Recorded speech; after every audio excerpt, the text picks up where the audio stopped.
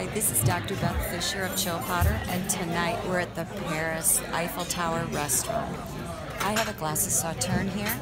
It's as easy as that.